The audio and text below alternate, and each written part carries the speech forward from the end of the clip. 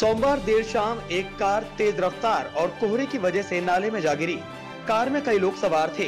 Car सवार लोगों की आवाज़ सुनकर आसपास के लोग भी इकट्ठा हो गए और कड़ी मशक्कत के बाद क्षेत्रीय लोगों ने कार में फंसे लोगों को बाहर निकाला। घटना थाना जगदीशपुरा के कलवारी चौराहे के पास की है। नाले में गिरी कार को भी क्षेत्रीय लोगों ने दूसरे वाहन की मदद से बाहर निकाल लिया। वहीं क्षेत्र के लोगों ने सभी घायलों को इलाज के लिए अस्पताल भी भेज दिया। आगरा से समाचार ए टू जेड के लिए अपने साथी हरेंद्र पचौरी के साथ जावेद खान की रिपोर्ट।